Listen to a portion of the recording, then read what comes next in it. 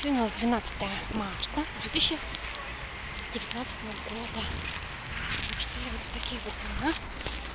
Такие вот дела. Татьяна Салмановна, никто сейф дел. Ага.